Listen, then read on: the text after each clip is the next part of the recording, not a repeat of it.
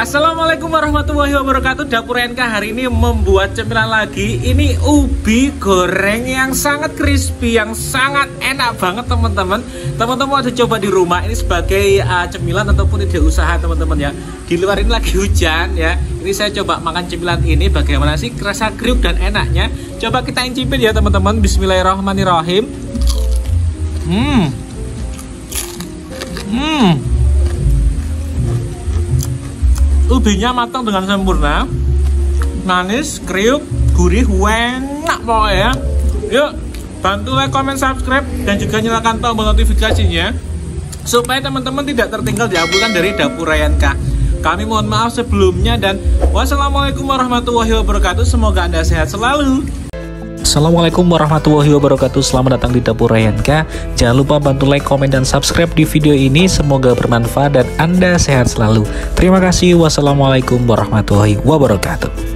Teman-teman untuk bahan yang perlu kita siapkan Saya pakai nah, ubi ya. Ubinya terserah Anda. Anda bisa pakai ubi mana pun. Ini saya pakai ubi mojokertoan Ya. Oke seperti ini. Keluarnya dia berwarna ungu atau kemerahan dalamnya berwarna agak kuning teman-teman. Sekarang ubinya anda kupas langsung ya ini. Nah. Ini ubinya saya pakai ubi setengah kilogram ubi. Anda kalau mengupas agak tebalan nggak apa-apa teman-teman. Biar si kulitnya ya daging dari si ubi ini nanti bisa maksimal Nah, seperti saya ini.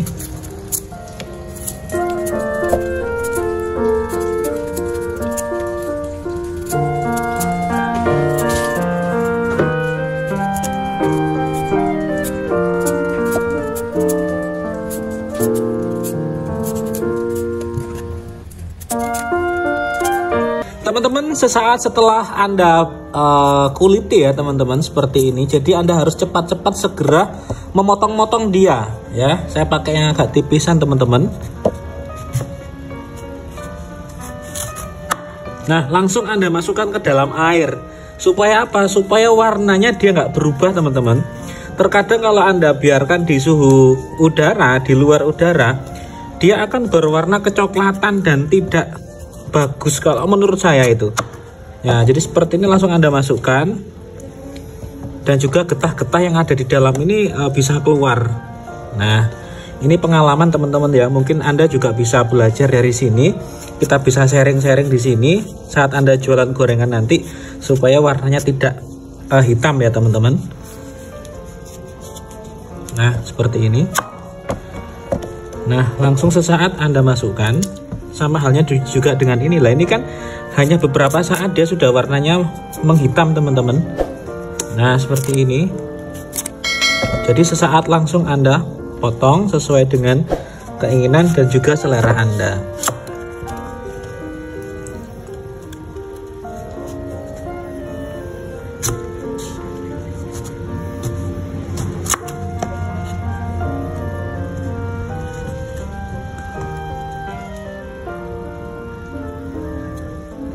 Ini kebetulan ibu saya nanti mau ke rumah jadi ini untuk cemilan ibu saya teman-teman. Nah ini kan juga musim hujan nih. Nah, jangan terlalu tipis ya nanti nggak enak. Jadi sedengan aja. Nah seperti ini. Nah sudah. Ini sudah ya segini ya. Nah seperti ini teman-teman. Ini sudah jadi. Ini anda rendam teman-teman ya. Anda rendam sampai kurang lebih 15 menit. Sampai si getahnya ini bisa keluar. Setelah itu bisa Anda masak. Atau kalau Anda penjual gorengan di pinggir jalan, ini nggak apa-apa Anda bersihkan saja seperti ini. Nanti Anda tiriskan tapi Anda kasih air sedikit-sedikit di dalam apa namanya wadah yang Anda bawa ke tempat jualan. Oke, seperti ini kita diamkan sampai 15 menit ke depan untuk bahan-bahan yang kita gunakan ya sebagai tepung kriuk dari adonan uh, ubi goreng yang renyah ini saya pakaiin teman-teman 15 sendok makan tepung terigu. Ini saya pakai 3 sendok makan tepung beras. Ada gulanya teman-teman. Uh, si gula ini ada 6 sendok makan gula. Tingkat kemanisan bisa anda sesuaikan. Terus ini teman-teman saya pakai garamnya ini setengah sendok teh. Saya pakai vanili bubuk ya teman-teman. Ini setengah sendok teh dan ini ada baking powdernya setengah sendok teh. Vanili bubuknya saya pakai yang merek penguin teman-teman. Jadi untuk perasa yang uh, rasanya biar wangi biar sedap saya pakai vanili yang itu ya. Teman-teman mula-mula ini saya campur si tepung-tepungnya. Saya masukkan gulanya teman-teman ya. 6 sendok makan gula anda masukkan. Terus ini ada masukkan uh, vanili bubuk dari penguin ada setengah sendok teh ada garamnya ini setengah sendok teh dan juga ini ada baking powdernya setengah sendok teh. Anda masukkan semua teman-teman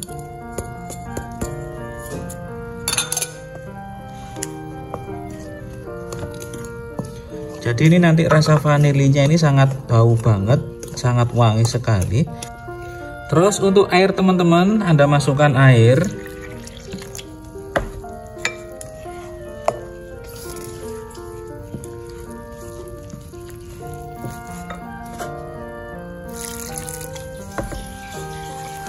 Untuk adonan ini biasanya dia cenderung uh, kental ya teman-teman tingkat kemanisan juga tergantung dari Anda. Kalau Anda suka yang manis banget, bisa Anda tambahin. Tapi kalau Anda suka yang uh, tidak begitu manis, ya Anda kira-kira sendiri.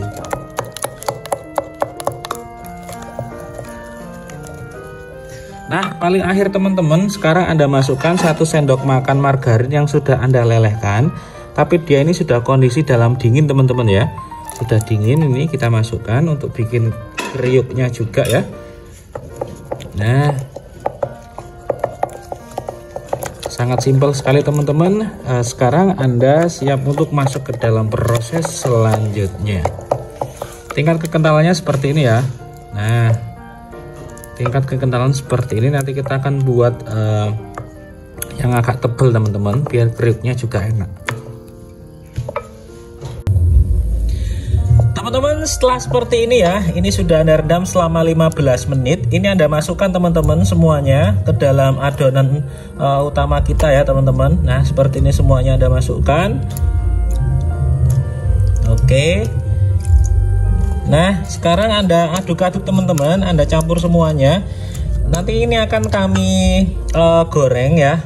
Tapi nanti saya pakai tangan aja teman-teman supaya nanti um, si ketebalan dari si tepung ini bisa melekat dengan maksimal ya.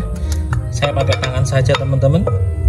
Nah gini aja. Tangan kita harus sudah bersih sudah kita cuci higienis ya teman-teman. Oke yuk sekarang kita masuk ke dalam proses penggorengannya Teman-temanku, Anda siapkan mie yang panas, tapi nanti setelah panas Anda pakai api sedang teman-teman supaya apa? Supaya dia tidak gosong ya. Ini sekarang kita masukkan teman-teman untuk uh, si ubinya. Oke, seperti ini. Saya kasih yang tebal teman-teman tepungnya supaya anak kecil-kecil nanti juga uh, bisa makan grillnya ya. Nah, seperti ini.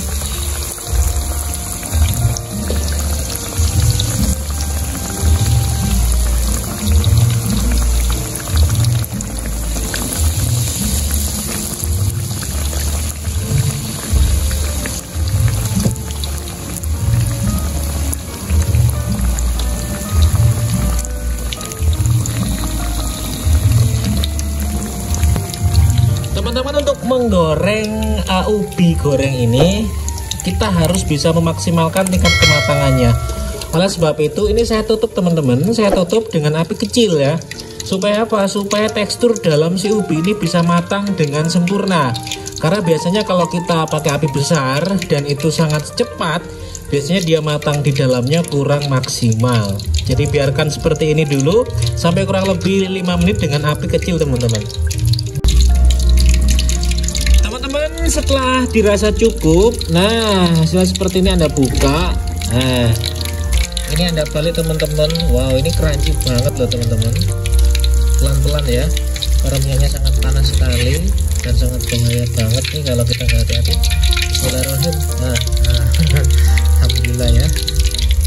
Oke seperti ini. Nah ini teman-teman kalau anda uh, penggunaan apinya itu kurang kecil jadi tingkat kematangan atau gosong tepungnya ini akan kelihatan ya. Pokoknya usahakan pakai api kecil biarkan dia matang dulu yang di dalamnya. Ini mungkin tadi saat saya memasukkan pertama itu masih panas ya. Maksudnya si apa ini si minyaknya masih panas banget. Jadi dia agak gosong tapi nggak masalah ya. Nggak masalah dia nggak pahit kok. Ini gosong juga faktor dari gula juga sangat bisa teman-teman. Oke seperti ini anda tutup lagi teman-teman nah kita tunggu lagi kita goreng lagi. Teman-teman ini sudah matang ya sudah anda balik satu kali sudah cukup. Kita dengan api kecil dia pakai uh, minyak tenggelam. Uh, ini sudah matang ya. Jadi sebenarnya passion untuk menggoreng uh, ubi goreng ini adalah tingkat kematangan dari ubi itu sendiri teman-teman. Kalau anda pakai api besar dan dia itu uh, tidak pakai minyak yang tenggelam dia matanya agak lama atau kadang-kadang sudah gosong tapi dia belum matang dalamnya ya. Kita goreng lagi teman-teman untuk ubi yang lainnya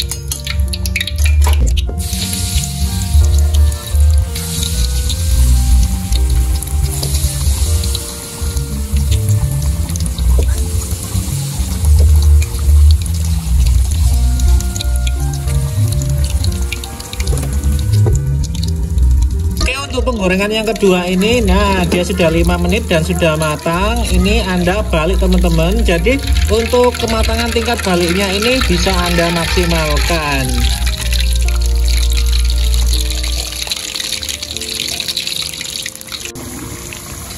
Teman-teman ini sudah matang ya. Ini bisa anda angkat. Dia sudah matang dengan sempurna dalam-dalamnya ya. Nah bagus sekali. Yuk kita angkat